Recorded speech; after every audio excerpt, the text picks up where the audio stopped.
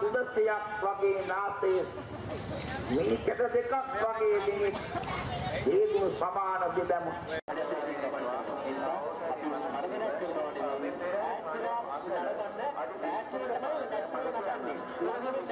දක්ෂ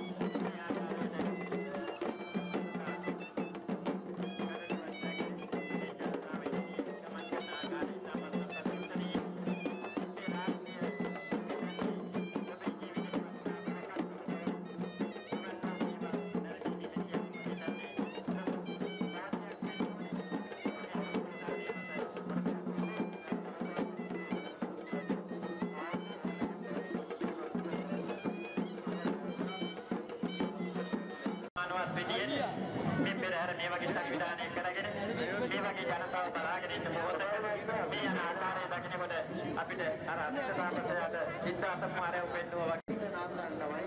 මේ පුංචි දියණියන් සාහිත්‍ය කොටලා මේ පෙරහැරට අලුත් සුවසේ සංගත විදියට මේ ජනනට කීපයක් එකතු කරගෙන සිටින්නේ මේ වගේම මේ ඒ දරුවන්ට මං හිතන්නේ දෙයියන්ගේ ආශිර්වාදය නිතින්ම ලැබෙනවා මොකද මේ පස්වෙනි